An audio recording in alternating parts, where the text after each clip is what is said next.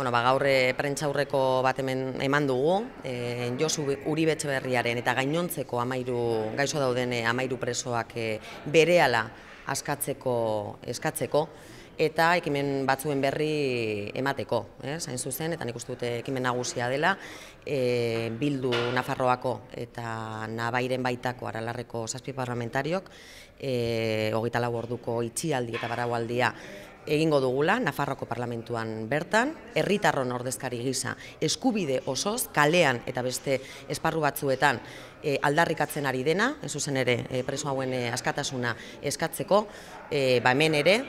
aldarrikapen hori e, parlamentura ekartzea eta parlamentutik bertatik e, egiteko e, eskubidea aldarrikatzen dugulako. Argi dago, Josuri Betxeberriaren egoera ezin larriagoa dela, e, alderdi popularrak azken muturreraino eraman duela bere egoera eta ja nahikoa da. Bere bere alako askatasuna e, premiazkoa da, eta ez dezagun astu ez ere, beste amairu preso daudela, tartean lau nafarre daudela, eta, eta bueno, hildorretatik, ba, azken asteotan, azken egunotan, jendartearen, bai kartzeletan, eh, presoen aldetik, eta bai e, kalean,